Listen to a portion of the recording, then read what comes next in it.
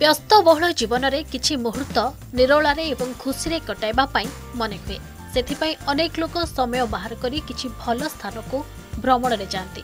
ଯଦି ଆପଣଙ୍କୁ ବୁଲିବା ପାଇଁ ଭଲ ଲାଗେ ଆଉ ଆପଣ ତାୱାଙ୍ଗ ଯାଇନାହାନ୍ତି ତାହେଲେ ଖୁବ୍ ଶୀଘ୍ର ପ୍ଲାନ୍ କରନ୍ତୁ।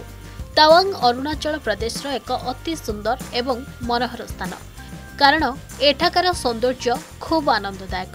ତାୱାଙ୍ଗ ସମୁଦ୍ର ପତନଠାରୁ ଦୁଇ ହଜାର ଛଅଶହ ଅଣସ୍ତରୀ ମିଟର ଉଚ୍ଚରେ ଅବସ୍ଥିତ। କେବଳ ଏତିକି ନୁହେଁ ତୱାଙ୍ଗ ପର୍ଯ୍ୟଟନ ସ୍ଥାନ ଦଲାଇ ଲାମାର ଜନ୍ମସ୍ଥାନ ଭାବରେ ମଧ୍ୟ ଜଣାଶୁଣା।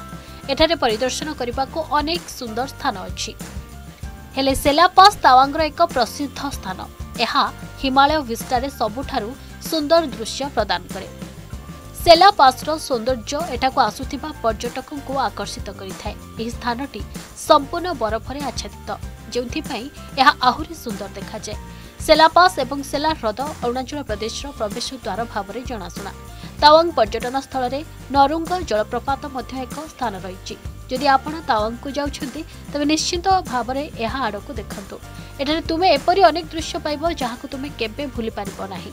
ଏହି ଜଳପ୍ରପାତ ହେଉଛି ନର୍ନାଙ୍ଗ ନଦୀର ଏକ ଗୁରୁତ୍ୱପୂର୍ଣ୍ଣ ଅଂଶ ଯାହା ସେଲା ପାସ୍ରୁ ଉତ୍ପନ୍ନ। ତାୱାଙ୍ଗ ପର୍ଯ୍ୟଟନ ସମୟରେ ପରିଦର୍ଶନ କରିବାର ସ୍ଥାନ ହେଉଛି ଗୋରିଚେନ୍ ଶିଖର। ପର୍ଯ୍ୟଟନ ପାଇଁ ଏହା ଏକ ସର୍ବୋତ୍ତମ ବିକଳ୍ପ। ଅରୁଣାଚଳ ପ୍ରଦେଶ ହେଉଛି ରାଜ୍ୟର ସର୍ବୋଚ୍ଚ ଶିଖର। ଗୋରିଚେନ୍ ତାୱାଙ୍ଗ ଏବଂ ପଶ୍ଚିମ କାମେଙ୍ଗ ଜିଲ୍ଲା ମଧ୍ୟରେ ଏହି ଶିଖର ଅବସ୍ଥିତ। ଏହି ତୱାଙ୍ଗ ମଧ୍ୟରେ ଦୂରତା ପ୍ରାୟ ସତାବନ କିଲୋମିଟର। ପିଟିତ୍ସୋ ହ୍ରଦ ତାୱାଙ୍ଗ ସହରର ସୌନ୍ଦର୍ଯ୍ୟକୁ ଦ୍ୱିଗୁଣିତ କରିଥାଏ। ସୁନ୍ଦର ଦୃଶ୍ୟରେ ପରିପୂର୍ଣ୍ଣ ପିଟିତ୍ସୋ ହ୍ରଦ। ତାୱାଙ୍ଗ ସହରଠାରୁ ପ୍ରାୟ ପଚିଶ କିଲୋମିଟର ଦୂରରେ ଅବସ୍ଥିତ। ଏହା ଏକ ଅତ୍ୟନ୍ତ ଆକର୍ଷଣୀୟ ପର୍ଯ୍ୟଟନସ୍ଥଳୀ ପିଟିତ୍ସୋର ହ୍ରଦର ସୁନ୍ଦର ପରିବେଶ ପର୍ଯ୍ୟଟକଙ୍କୁ ଆକର୍ଷିତ କରିଥାଏ। ତାୱାଙ୍ଗରେ ପରିଦର୍ଶନ କରିବାକୁ ଅନେକ ବିଶେଷ ସ୍ଥାନ ଅଛି। ସେଥିମଧ୍ୟରୁ ଆଉ ଗୋଟିଏ ହେଉଛି ତାୱାଙ୍ଗ ମଠ। ଏହା ବିଶ୍ୱର ଦ୍ୱିତୀୟ ବୃହତ୍ତମ ମଠ ଭାବେ ପରିଚିତ। ବିଶ୍ୱାସ କରାଯାଏ ଯେ ଏହି ମଠଟି ଚାରିଶହ ବର୍ଷ ପୁରୁଣା। ଏହା ଏକ ମହଲ ଆକାରରେ ନିର୍ମିତ।